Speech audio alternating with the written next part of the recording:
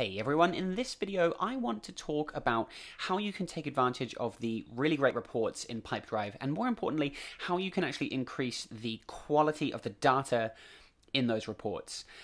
The reporting in Pipedrive, I think, is one of the killer features of this product.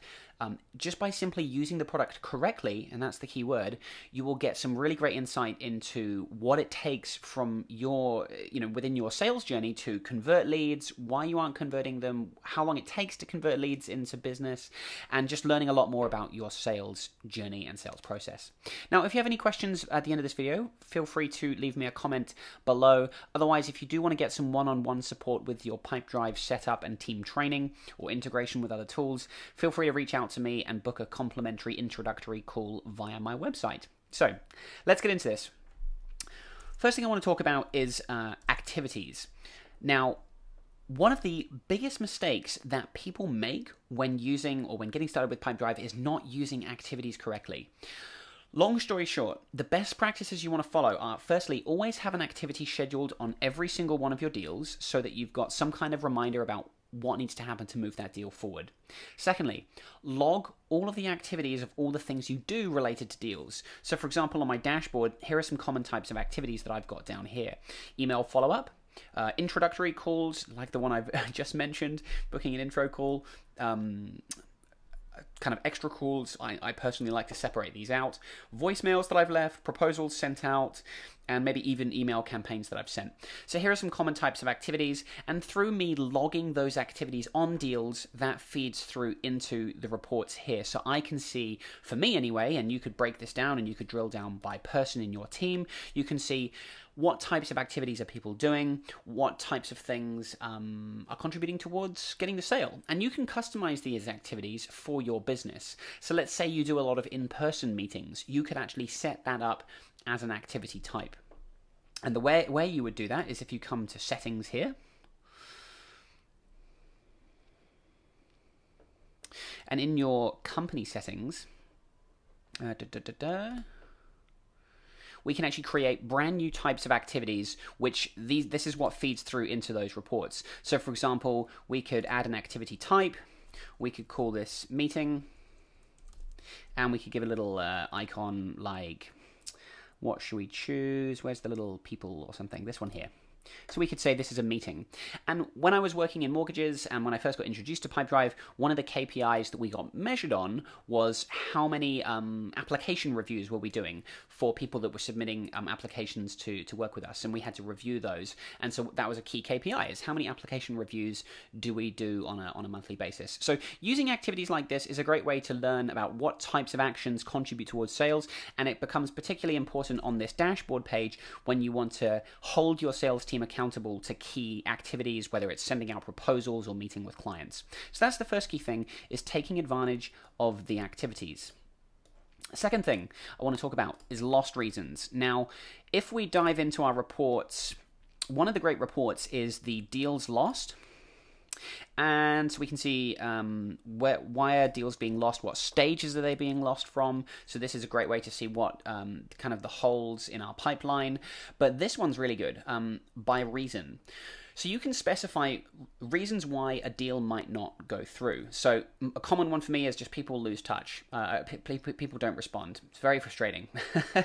and uh, I follow up, but you know I do a number of follow-ups and people don't respond, and so I just sort of think, right, well, obviously you know they're not interested, so client doesn't respond.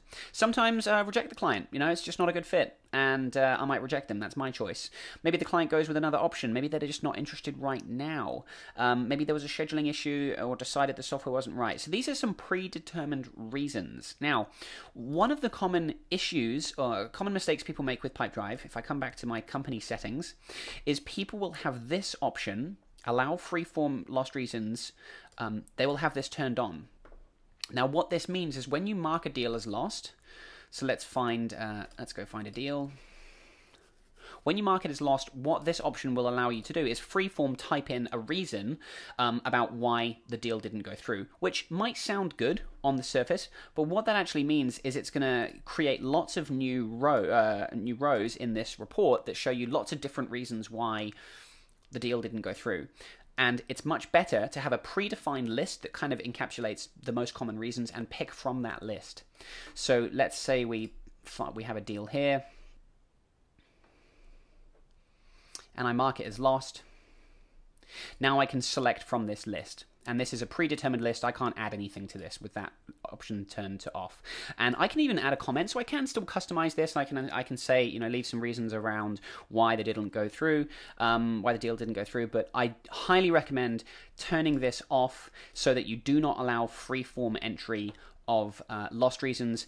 Main reason being it will make this report a lot more accurate. You'll learn a lot more about the common reasons why deals don't go through. So highly recommend you turn that off.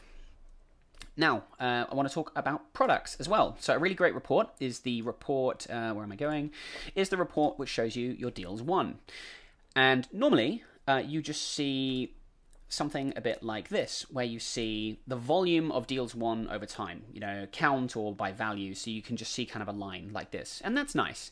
But actually, I have different types of consulting that I offer, and so I want to see what types of consulting or what service am I, as services am I selling more or less of. And so I can break it down into products that are being sold over time. Now, this feature Oh, actually, let's leave that there. This feature is enabled from um, the settings, we want to go to features here. So you actually do have to turn this on. When you first get started to, with Pipedrive, it won't be turned on. So you want to come to features in your settings and turn on products.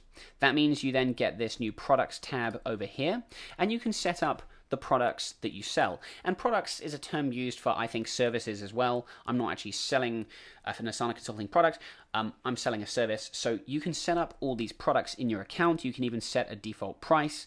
And then when you are assigning the value to your deal, you now get this add products option. And so I can say this person's interested in Asana consulting and he's going to, it's, you know, it's going to be, I don't know, a thousand dollars. And then when that deal is marked as won, it feeds through into this report so we can see what types of products are people um, purchasing over time. So it's just a great way of extending the quality of this report, getting a bit more information about our sales process. Uh, so yeah, if you do run a product or service type business, highly recommend you take advantage of the products. And finally, um, actually use the won and lost buttons. A lot of people will have, so if you look at my stages, I have proposal sent, and then the final one is waiting for payment. A lot of people actually have stages at the end, which is like deal won or deal lost. That's actually not the correct, and, and they would move the deal into that stage. That's actually not the correct way to um, to manage the deal. When it actually is won, in other words, when you recognize revenue related to the deal, you just need to click won or lost. Uh, sorry, you need to click won. Obviously, if the deal doesn't go through, you can click lost. And uh, so that's a way that it's only through, through marking the deal as won that the data will feed through into this report deals won. If you simply move it into a stage, yes, it looks like you know you've collected all your won deals in one place, but this report will not update. So that's a common mistake as well, is people don't use the won and lost buttons. And and just remember as well that even though you mark it as won or lost, let's say I mark that as won, I can reopen this. So if I make a mistake, I can reopen the deal if I ever need to. And finally, a final point on this is you might have a lost stage, um, or you might have a holding stage actually, where you want to kind of put deals that are sort of on hold.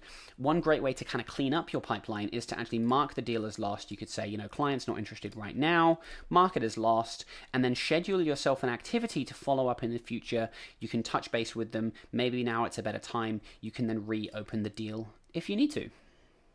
So there you are. Those are a few simple ways that you can improve the quality of your reports. Like I said, the um, data that we get in here is really powerful, really great way to learn about what are you doing right and wrong in your sales process, but it does rely on you using Pipedrive correctly. So I highly recommend you just follow those few simple tips to take advantage of activities, uh, disable freeform lost reasons, take advantage of products, and obviously marking deals as won or lost at the right time. Thanks again for watching this video, and as I said, let me know if you have any questions or comments uh, below this video.